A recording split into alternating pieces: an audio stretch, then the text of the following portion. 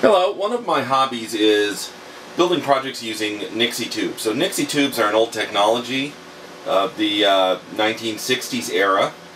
Uh, they're a display tube used usually to display numbers, for example these uh, IN14 tubes in the clock there. Uh, they also make uh, linear tubes for displaying bar graphs.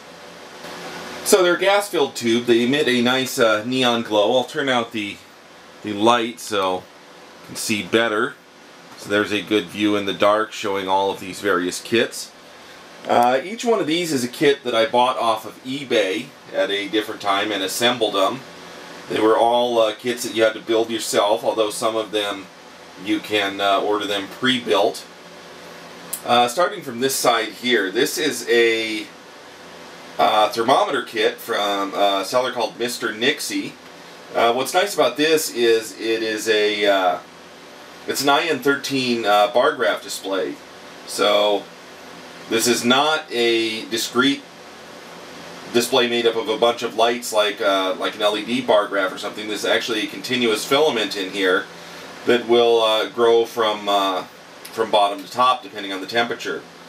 And it is this is an analog kit. It uses an analog sensor, so it's continuous. There's there's nothing digital about it.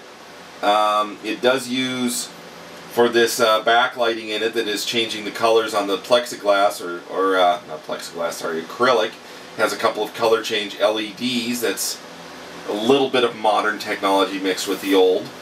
And it is powered by a uh, USB port, which is kind of nice because you can easily just plug this in and plug it into one of the spare USB ports on your computer. So an IN13 uh, bar graph temperature is kind of nice. Um, it's not the easiest thing to read because depending on the angle you're looking at it, you know, it'll it'll it'll look like it's higher or lower than it really is, but it's it's it, it's it's a neat project, and it's uh, it's a, really a work of art with this nice uh, case that was designed for it and this nice acrylic. It's uh, there's like laser cut pieces, got a black base. It's pretty cool. Um, this over here is your traditional uh, Nixie tube clock. So it's an IN14 clock. Uh, I believe it was made by uh, TubeHobby.com. Now the parts that you'll actually get uh, do not include a case, so it was just the uh, the boards inside with the tubes. They also make an IN18 version, which is a bit bigger. The case I think came from uh, TrophyCases.com or something like that. It's a generic uh, acrylic case. Worked out pretty nice to keep people from getting their fingers in where the high voltages are at. And I've also added, way back here on the back, a little GPS unit from uh, SparkFun Electronics. So the GPS, I had to run it through a uh, hex inverter to uh, invert the signals and it goes into the uh, GPS port on the clock and it makes sure that this clock is always synchronized to the correct time. So that's that's kind of one of the first kits that everybody builds is a clock kit because they're very popular. There's lots of them on eBay. Um, over here we have an IN14 uh, thermometer.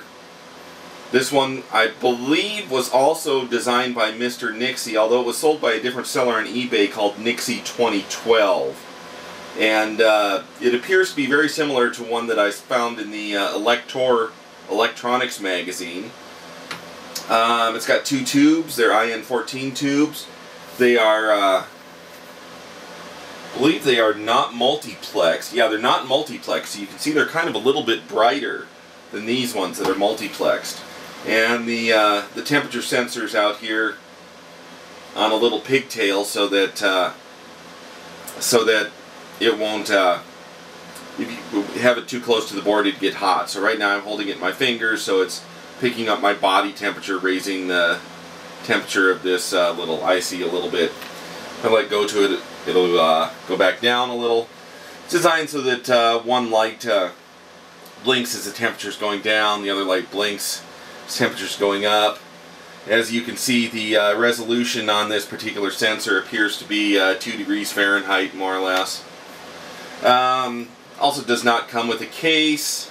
I'm going to see about uh, designing some, a case for it myself, just to keep people from getting their fingers in it. It has uh, it's lit up from the bottom with a couple of blue LEDs. That's what gives that kind of blue glow to the uh, the bottom of the Nixie tubes. A lot of the uh, clock developers are uh, starting to do that. It's powered by your traditional uh, wall wart. And over here we have a Dekatron spinner.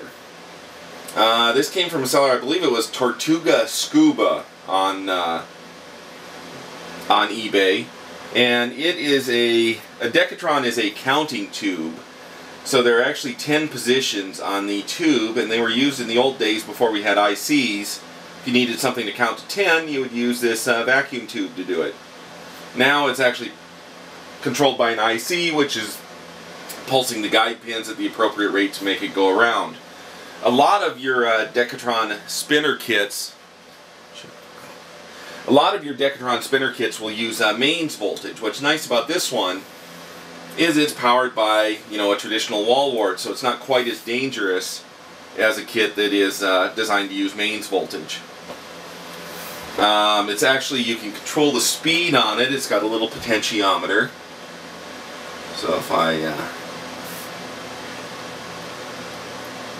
turn that, I can slow it down. I can speed it up. Speed it up quite a bit.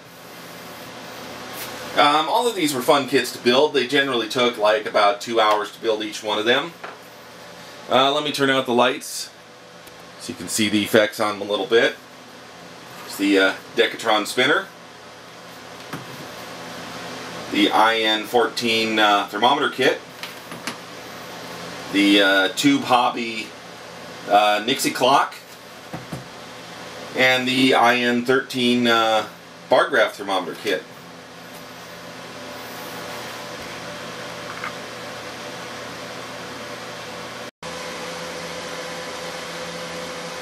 Here you can see a 10 digit uh, kit that I found on eBay. It's sold by a seller called uh, Sparkle Tube who also has a website called Kosbo.com. That's K-O-S-B-O.com. Um, I believe he sells them in 8 and 10 digit versions. This is a 10 digit. I've added the, uh, the case, of course, and the switches and power supply and some other electronics inside. Uh, they're available both as a, uh, a fully completed clock and as a kit. What's unique about this is it's 10 digits and it can function not only as a clock, but also as a generic counter. And you can talk to the counter uh, via serial protocol and send a count to it.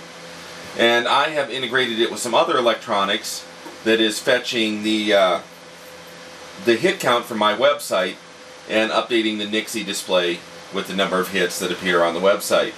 It's a pretty easy to build kit and it uh, looks pretty good and the the IN12s are perfect for a uh, for a shallow front-facing uh, display like this.